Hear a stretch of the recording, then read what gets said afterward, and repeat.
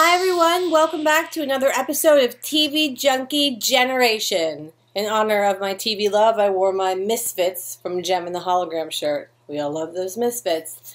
This is going to be my early review of the second season of Helix. As most of you know, Helix, the first season, was one of my favorite shows, and I kept telling everyone to watch it, and I'm so glad that they did.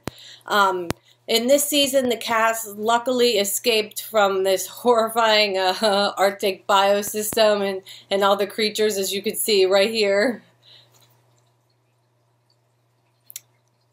But now they have to investigate a possible outbreak of another virus that they don't know. And they're also looking for the Ilaria compound, which is the one who started it all. So there's a lot of missions going on here.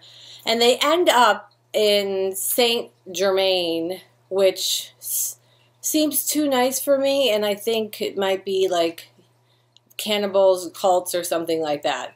Um, all your regular players are back. Julia's back with those silver eyes. As you can look at the silver eyes, I kind of like them.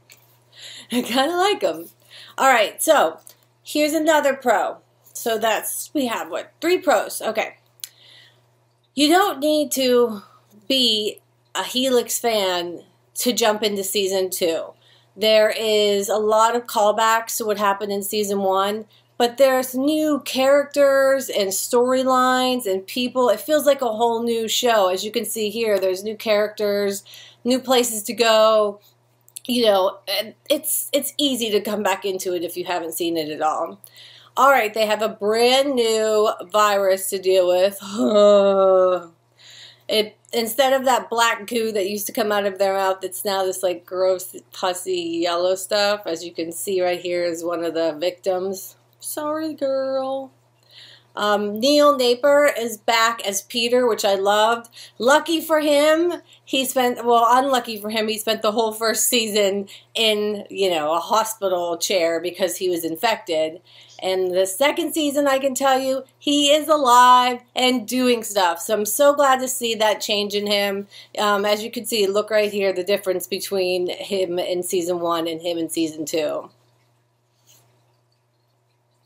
So I think that um, I like that. I want to see a different side of him. He's now the uh, uh, runs the CDC response team, which is great. And pro, another pro. There's a massive, massive, massive twist coming. That's gonna change everything. All right, let's get into the cons. There's really not that many.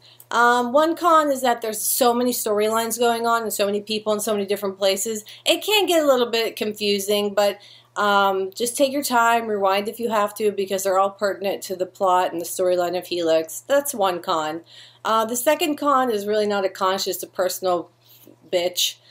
Um, I kind of liked it when they were in the Arctic lab. I'm claustrophobic, and I like that it freaked me out so much. So uh, I like that's just a personal thing. I don't even know if you could call it a con, you know. So look it, I'm gonna kick your ass if you don't watch Helix season two, which premieres January 16th at 10 p.m. on Syfy. My final review is nine hair flips. Nine! That means you gotta watch Helix. Get on season two, January 16th, 10 p.m. Syfy.